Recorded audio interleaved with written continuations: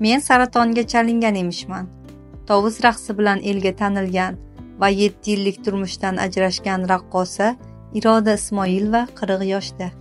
Assalomu alaykum kanalimiz kuzatib boruvchilari xush kelibsiz. Kanalda yangi bo'lsangiz obuna bo'lib video kengroq tarqalishi uchun bir dona layk bosishni unutmang. Raqs umri qisqa kasblardan biri. Raqqosalar karyerani juda erta boshlaydi. Va ularning aksariyati 30 yoshdan keyin sahnadagi faoliyatiga yakun yasaydi. Tovus raqsi bilan tanilgan raqqosa iroda ismoilova hali beri sahnadagi faoliyatiga yakun yasash niyatida emas chunki uning ijodiga talablar juda yuqori. 40 yoshda bo'lsa-da hamon yosh raqqosalar singari jozibasini yo'qotgani yo'q. Onam shifokor bo'lishimni istagan. Iroda ismoilova bejiz raqs san'atiga qiziqmagan. Bu san'at oila a'zolariga begona emas. Ota onasi xoreograf sifatida faoliyat yuritgan. Oilada ikki farzandmiz. Men tug'ilganimda onam xoreografiya oliy maktabda o'qigan. Dadam esa ansamblda ishlagan ekan. Onam chaqaloqligimda meni aravachaga solib o'zi bilan olib ketar. Otam esa mashg'ulotlardan so'ng meni uyga olib qaytarkan. Shu bois raqs menga hech qachon begona bo'lmagan. Uch yoshdan u bilan jiddiy shug'ullanishni boshlaganman. Ansambldagi raqqos va raqqosalarning bari xuddi yaqinlarimdek edi. Onam raqqosa bo'lsa-da negadir bu kasbni egallashimga jiddiy qarshilik qilgan. Shifokor bo'lishingni istayman deb aytardi. Balki o'zi kasb sababli qiynalgani uchundir. Dadam esa yonimni olib o'zi yoqtirgan ishini qilsin bir umr qiynalib yashamaydiku derdi deydi iroda ismoilova. Bolaligim qanday o'tganini eslolmayman.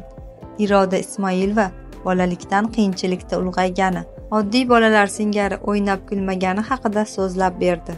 Ota onam ishlardi ammo ro'zg'orimiz hech qachon but bo'lmasdi. Kamtarona oddiy yashardik. Bunga sabab ansambldan oladigan oylik bilan ro'zg'or tebratib bo'lmasdi. Mashg'ulotlar uchun kerakli bo'lgan hamma narsa avvaldan ota onamga aytib oilaviy rejaga kiritardik chunki ular aytilgan zahoti bajara olishmasdi. Bolaligim qanday o'tganligini eslay olmayman chunki bir marta ko'chaga chiqib o'ynaganimni dugonalarim bilan aylangani borganimni eslolmayman. Men faqat xoreografiya maktabi va uyni bilardim xolos.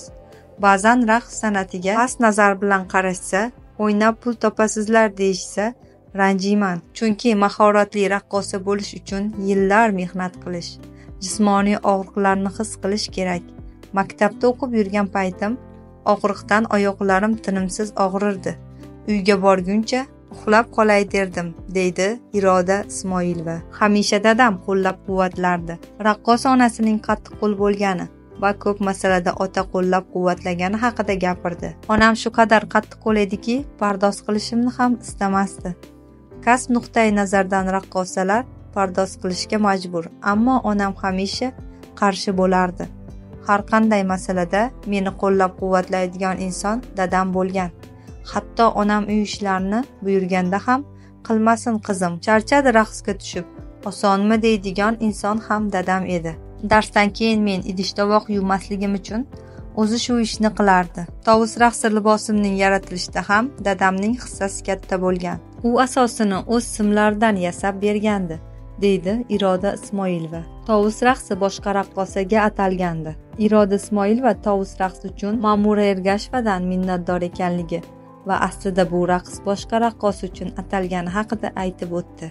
Aslida bu raqs boshqa raqqos uchun atalgan ekan ammo uning ijrosi unchalik ommalashmagan. Keyin men ijro etdim va kutilmaganda mashhurlikka erishdi. Bu raqsning yaratilganiga yigirma yil ko'proq vaqt bo'ldi.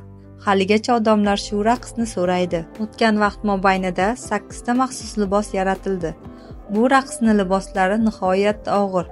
Bosh kiyimning o'zi ikki kilogramm tosh bosadi deydi iroda ismoilova. Turmush qurmayman deb o'ylardim.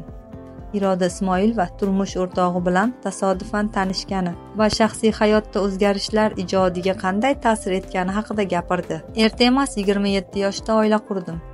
Rostini aytsam oila qurmasam kerak deb o'ylardim. Chunki yoshim katta bo'lib qolgan. Uni ustiga o'zbek yigitlar san'atkorga uylanishini istamaydi deb hisoblardim. Sobiq turmush o'rtog'im bilan uchrashuvga chiqishdan avval bir oy gaplashib yurganmiz. Raqqosa ekanligimni yashirmaganman. U inson mendan ikki yosh kichkina edi. Fikrlar zamonaviy ekanligini payqab oila qurishga qaror qilganman. Ammo dadam rahmatli qarshi bo'lgan. Yetti yil birga yashadik. Ikki farzandli bo'ldik ammo oilamizning yakuni go'zal bo'lmadi deydi iroda ismoilova. Iroda ismoilova bir muddat san'atdan ketishga farzandidan ayrilgani va ruhiy tushkunlikka tushib qolgani sabab bo'lgani haqida aytib o'tdi. Homilador bo'lganimdan keyin ham san'atdan ketganim yo'q. Avvaliga hammasi yaxshi edi. Tug'ruq vaqti yaqinlashganda birdan tobim qochib isitmaladim shifokorga borsam homilam bir oy avval nobud bo'lganini tezlik bilan uni jarrohlik yo'li bilan olib tashlash kerakligini aytishdi. Ruhiy tushkunlikka tushib qoldim.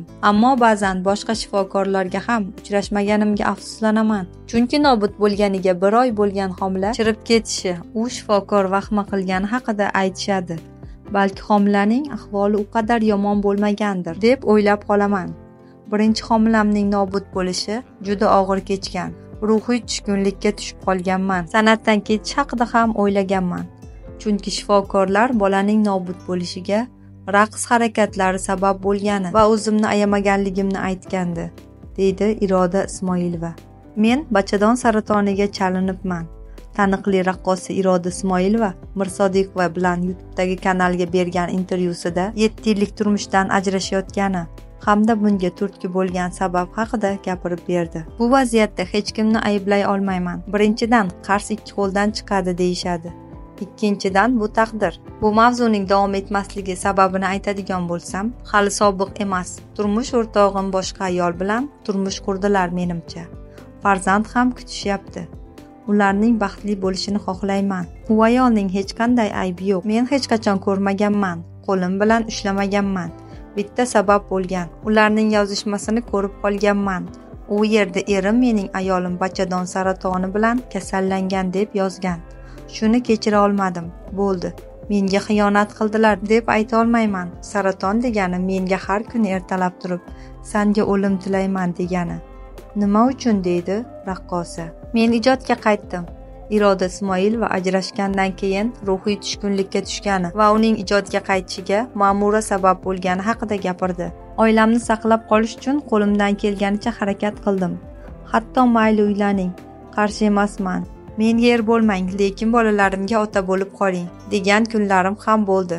Chunki bolalarim dadasini yaxshi ko'radi. Shularni o'ylab ruhiy tushkunlikka tushib qoldim. Shunday kunlarning birida menga ma'mura singlim kuch bag'ishladi. Men qaytadan ijodga qaytishimga sababchi bo'ldi. Uning yaxshiligini hech qachon unutolmayman deydi iroda ismoilova. Operatsiyaga rozi bo'lmadim. Yulduz usmonovaning sarob qo'shig'iga mohirlik bilan raqsga tushgan iroda ismoilovaga xonanda yuzini plastik operatsiya qildirishi kerakligini aytgan va jarroh bilan tanishgani haqida so'zlab berdi. Yuzimdagi notekislikka kosmetika sababchi emas avvaldan yuzim shunday bo'lgan. Bir kuni yulduz usmonova yuzingni to'g'irlatish kerak. Tanish plastik xirurgim bor. Qabuliga olib boraman dedi. Klinikaga bordik. Tahlillarni topshirib operatsiya kunini belgiladik. Ammo qo'rqdim va bir necha kundan keyin rad javobini berdim. Yulduz opa o'shanda biroz ranjigandek bo'ldi deydi iroda ismoilova. Azizlar kanalimizdan uzoqlashmang. Siz raqqosa iroda ismoilova haqida qanday fikrdasiz? Kommentariyada o'z izohingizni yozib qoldiring. Biz siz uchun rolik tayyorlaymiz. E'tiboringiz uchun rahmat.